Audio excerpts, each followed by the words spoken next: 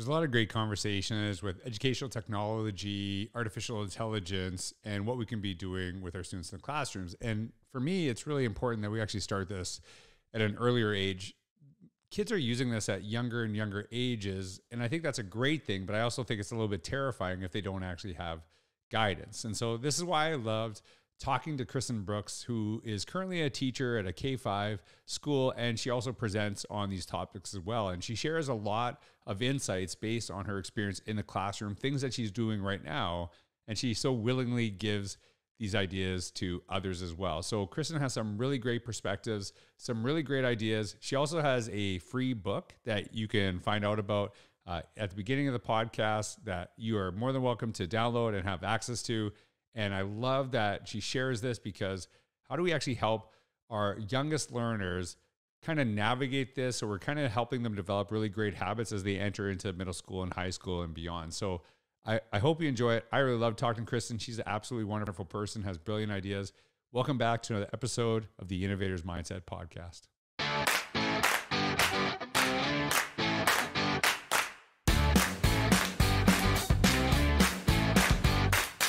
Hey everyone, this is George Couros. Welcome back to another episode of the Innovators Mindset Podcast. I am blessed today to have Kristen Brooks, who is a, a teacher currently in uh, Georgia with Cherokee County. Is that correct? Yes, that is correct. And I've actually, you know, I, have connected with Cherokee County and some some wonderful, wonderful uh, people in the area. And I, Chris and I actually connected at, at several conferences. And I was saying this in our, you know, three questions podcast. One of the things that I love because we were actually presenting at the same time. People are just so excited coming out of your sessions and you know feel that the stuff that you're doing is just really really powerful. It's really really purposeful and you know really kind of catering to the moment. And so not only does she present she teaches full time and um, she has a book that is in the description down below. We're going to talk a lot more about it than we did in the last podcast. It is called steam for little learners. It is totally free. You can download it and I'm going to ask you about it. But Kristen, thanks for being on the podcast. If you can tell us who you are, what you do today, how you got there, it's a good place to start.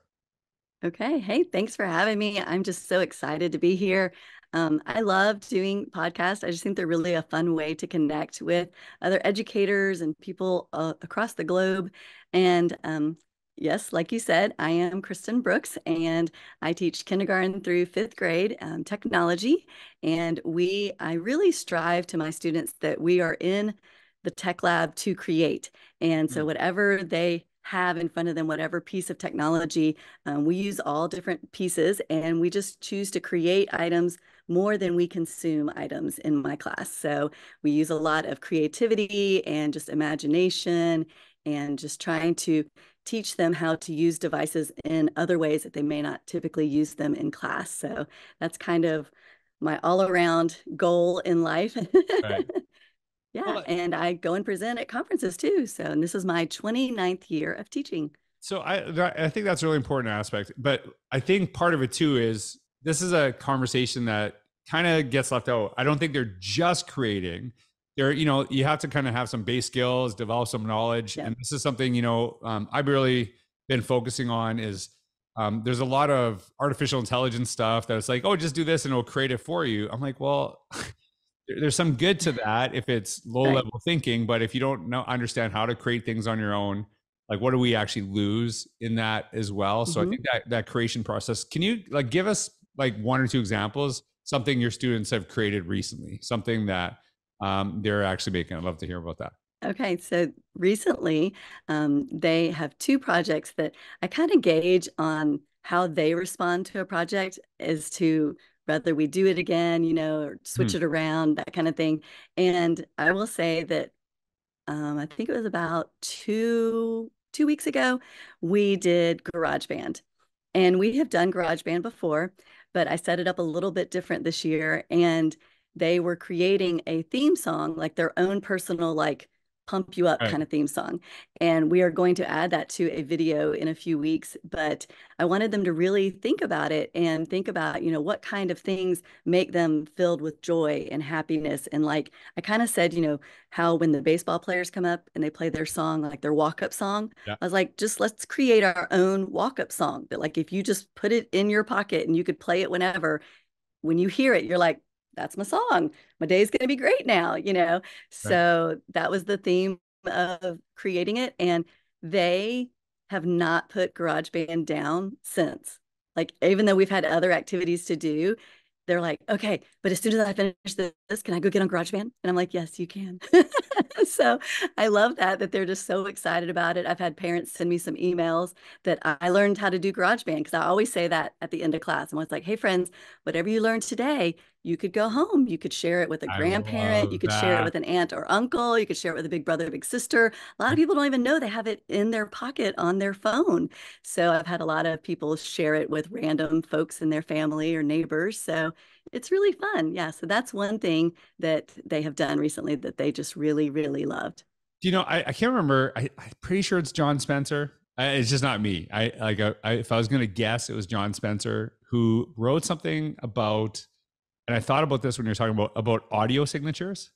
Mm. And that kind of stuck out to me is that, you know, if you're dum dum, that's Netflix, right? Like there's like little there's like little things that have audio signatures and actually that's something you're kind of doing with your students right now is that they're actually creating an audio like uh, yes. kind of that audio signature that's kind yes, of a cool cool cool concept right and i you know i have like little audio signatures on the podcast and i'm like i don't right. know if i like them and you know if i want to change my signature kind of thing so uh, that that's something because i you know you you there is a connection to like when you mm-hmm. hear this, you do you think of that, and what does that that kind of look like?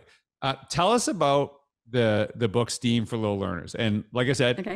in the description down below, totally free, downloadable. Which first of all, before you get into it, why would you do that? Like, why would you do that? And I like I I I know why because I asked you before, but you know, a lot of people are gonna like, hey, what's the catch, right? What what's the catch? Why is it free? right? There's so there's no catch. There's no catch. Um, I'm an Apple Distinguished Educator, um, and we there was four five of us total, and we really just felt like there was something kind of missing in that genre of the STEAM STEM area that little learners there wasn't a lot to help teachers like a lot of districts are saying hey we're adding in steam and we're doing it in the classroom and we just want you to add that in. And then that's all they say and the teacher's like okay i'll get right, right. on that. And they're just not really sure what to do so we just wanted to put a resource out there um, because all of us as educators we just we like sharing with other educators and i just don't want somebody to go recreate the wheel when it's already out there somewhere just go get it use it for free um, it's full of 30 lessons 30 activities and we tried to make them super simple so that if you don't have a clue and you have these iPads and you're like, what do I do with this? We tried to make them very simple to put into another lesson or add it in during, you know, a little 15 minute slot and just add in your steam. Yeah. And, you know, it, like we were kind of talking about this before, you know, like I have books that I sell and I have mm-hmm. like, you know, courses that I sell. But if you don't want to ever buy anything from me, I have so much content that I've created because it is partly me sharing my learning and, you know, mm-hmm. um, and there is kind of like this balance too right like this is like my work is this kind of too but yeah. you know like i love this podcast because it is totally free you can there's yep. a million different ways you can listen to it or watch it or whatever and hope hopefully that you know how we share with one another can kind of really um, elevate and the, the other thing too this is really important to me without this podcast um, I don't get to talk to great people like you and people who don't know mm-hmm. you, who know me, all of a sudden get to know you. And I'm, this has totally happened. Some people like listen to my podcast for me and then they hear from you and then I'm out. Like I get kicked out. You're like, yeah, I, you know, I heard this person and like, yeah, now I just fall. I just, that's their stuff. And I'm like, I'm good with that. I'm good with that. Yeah. You know, that, that's, a, that's a blessing. Okay. So tell us about the book. Like what, what do you do? Um, maybe give us a, a, sample from it. Like I know you, I don't know you give an actual sample because it is like it is free. You can give all the samples yeah. to be honest with you, but like tell us a little bit like kind of w- how you go through this book and you know what ed- uh, educators would expect. Yeah, I mean, it starts out, it's an interactive book. Um, like you said, it's on Apple Books. It's free. Just go and download it. And the cool part is, is that um, when we designed it, we wanted to make it as easy as possible. And so we, the first, you know, a couple pages explain the book, but then um, there's a page that actually has all 30 activities. And you can just like look through them and tap on it and it'll take you straight over to the one that you tapped on. So it is pretty cool in that aspect so you don't have to read it from beginning to end and do the lessons in any certain order. Um, there might be one that like matches better with what your unit is or what you're studying at that time. So we wanted to make it so you could start and stop anywhere that you felt comfortable. Um, we also did it um, with using apps. So on each lesson, it says what app it is using, or some some of them have a few different apps. Mm-hmm. And we felt like that would be helpful too. Like maybe, um, you know, there might be times where I teach only Keynote and I want all activities just about Keynote. You know, maybe mm-hmm. that's the way your curriculum is set up. So we wanted to make it so that you could go and find those things very easily if that's the way that you wanted to do it. So um, yeah, I just feel like it's very easy to understand. We tried to make the directions very simple. Um, a lot of the lessons that I put in, I actually recorded a video. Mm. Uh, I love videos. I love learning from videos. Right. So if I can see it, I can usually figure it out and understand it. And I wanted to give teachers, um, I know that when I have a chance to create a video for my students, depending on how they understand things. Like I'll stand there and I'll explain it, I'll talk about it, I'll point things out, I'll go through how to create what we're going to create. But a lot of times, if I have a chance to make a video or I can find one made by another educator, right, right, right. that I'll leave it playing on repeat on the board because there are some students that just love to just, they've listened but they love to just sit and watch and like take it in that way. And so I love to have that opportunity too. So so yeah, that's a little synopsis of it. So so as a as a, current classroom teacher, like mm-hmm. you've used some of these own lessons obviously yes. in your own practice, right? Like did you yes. that part of the thinking is that yes, like hey, I want to do it in my class, see how it goes because I don't want to like give yes. something I don't know. Like how, how, like how did you decide what went into it? Because I, I guarantee you, as many as you did, you probably could do quadruple, right? Probably. More, right? And so, well, like, there might there decide? might be more books coming. Well, there you go, there you go. And so, how did you decide? like, how did you decide that process?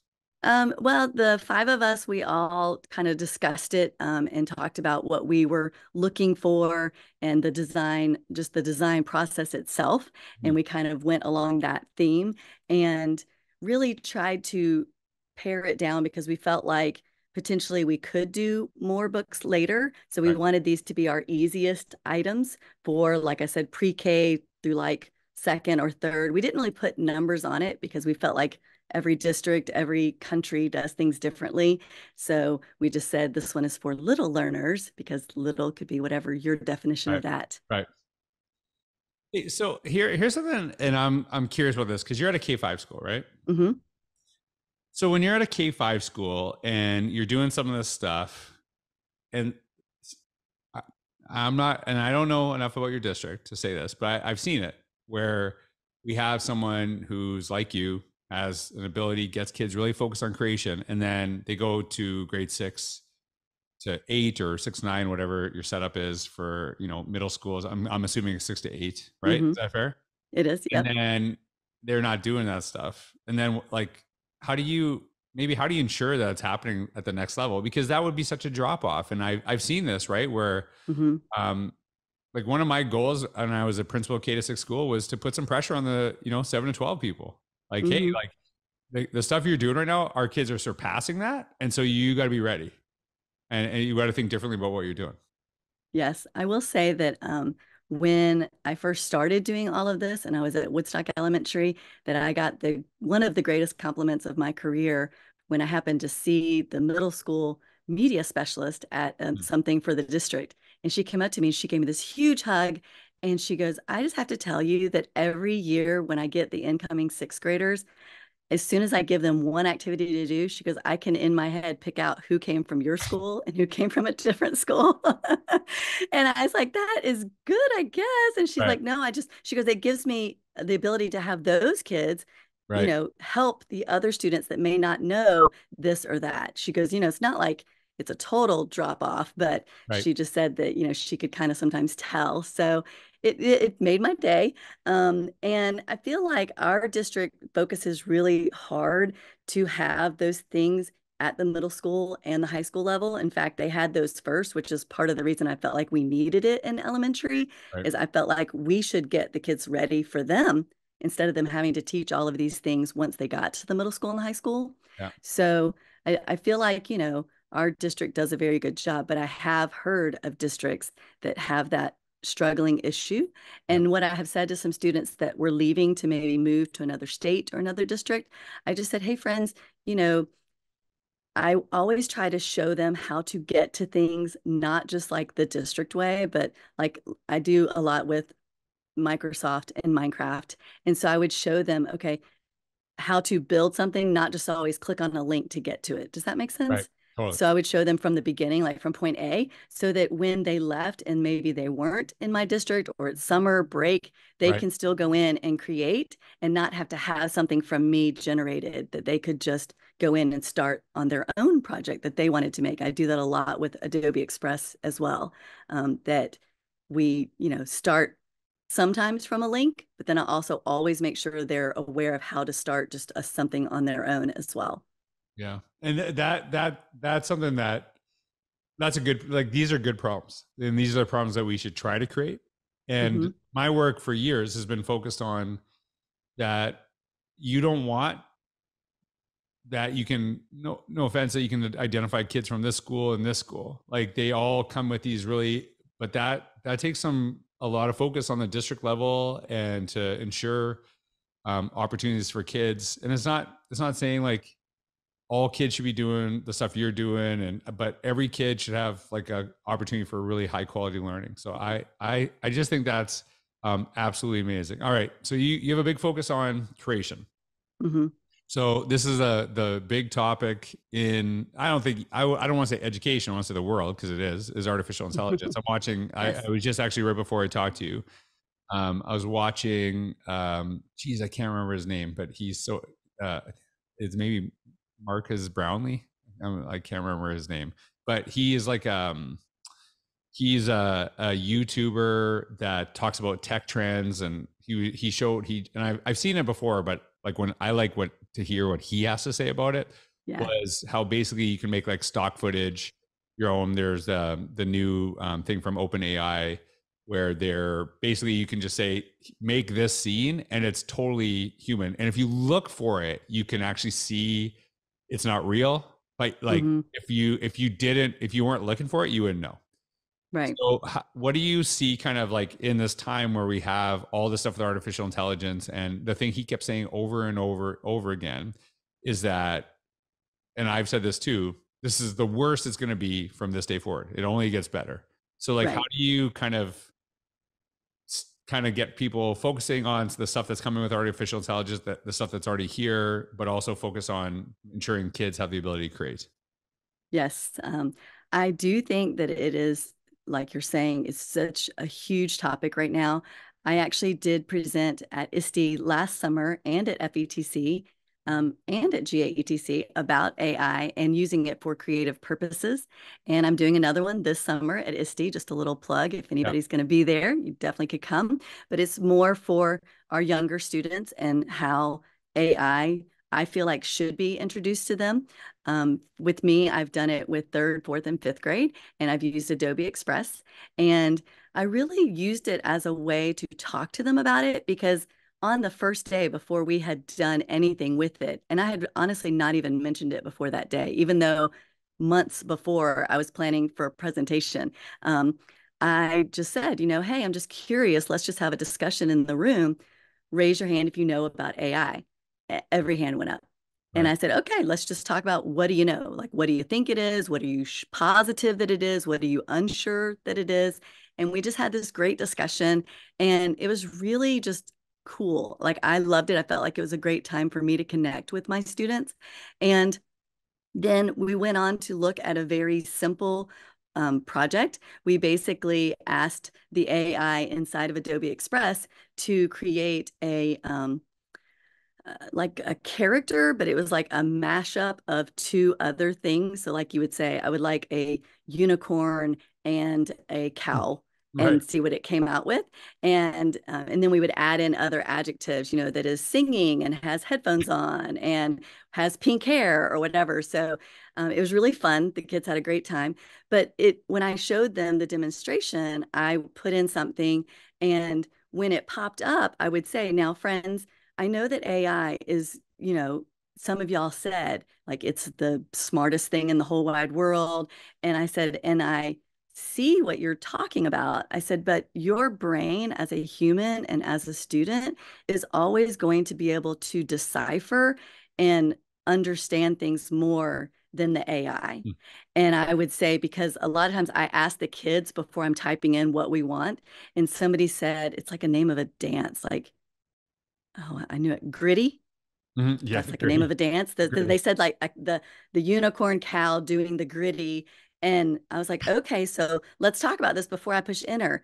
Is AI as a computer going to understand what the Griddy is? I said because for me, I knew because y'all talk about that kind of stuff, but right. My mom, who's 83, would not know what the right. Griddy is. And I said, so, or my dad, rather, either one of them. And I said, you know, they would think like sandpaper, like it's gritty. Right. And right. I said, so what's AI going to think? And so having us be able to talk about those things in their mind, they were like, oh, I get it like I have to say something like doing a dance or like you can't use these words that are just, you know, words right. that did it know? I gotta know. Did it know what it did not? It did not. It oh, did wow. not know what the Griddy was. And we then have tried other things to see, like, you know, and I say to them, I'm like, just try it out and see if it'll know. I, I don't know. Mm-hmm. I'm guessing that it will not. Um, but you know, that was a great learning time. And I mm-hmm. felt like with students, if we don't talk about it and we just try to push it under the rug, they're gonna go find out on their own. Right. I would rather as an educator have them find out the educational way to use it correctly than just to go and start just having it write all their papers for them mm. instead of teaching them to write their paper and then maybe take sections and put it in or proofread it that way. Um, so we've had a lot of discussion before we ever started using it.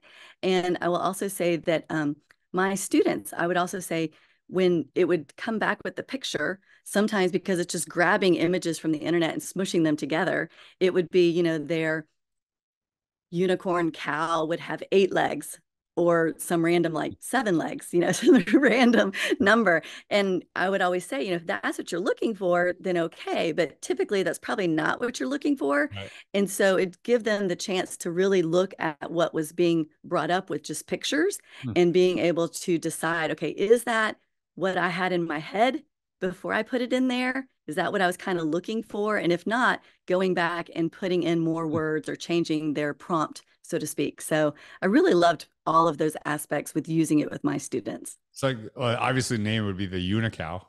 yes, the Unicow. The Unicow. So I love that. You know, so I'm watching a bunch of this stuff and uh, you know working with a lot of schools on really kind of the foundational aspects like things that you're talking about like what do you how are you getting kids to think? How are you getting actually to use this almost as a second brain as opposed to replacing mm-hmm. our brain? And how do you use this to um to focus on creativity still? Yes. And what i'm actually really pleasantly surprised by and i don't know if i felt this way when chat gpt was all over the place and this is like this is only like a year and a couple months ago that immediately so many schools started blocking it but it's mm. like feels like there's a more proactive approach that's happening in education across the board which is wonderful and i think yes. hopefully we've learned lessons from like covid and from social media and from like just even having the internet you know all of those things so it's kind of nice to see uh, more pe- people doing that and blessed that we have schools that like yours that have people like you leading the way so kristen just so grateful to have met you to um, be able to help people see all the incredible things you're doing in your classroom. So thanks for taking the time to be on the podcast. I, I really enjoyed having conversation. And I want per, selfishly, I wanted to get to know you better too, because like we've only seen each other in passing. So I wanted to just sit down and talk.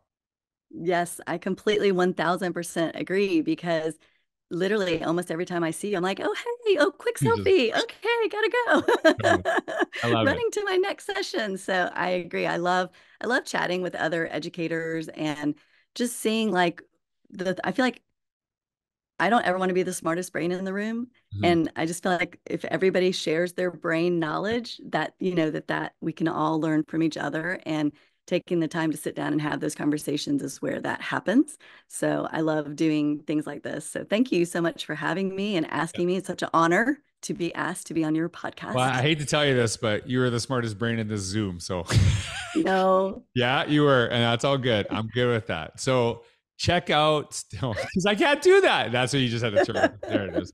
So hey, check out the book STEAM for little learners. It is free to download below. Kristen, thank you so much. You can check out all of uh, Kristen's socials. Whatever. I want to just throw questions at her too. If you are like going through this stuff, I know she is more than willing to help. And so, how blessed it was to mm-hmm. have you on. Thanks everyone for listening. I hope you have a wonderful day.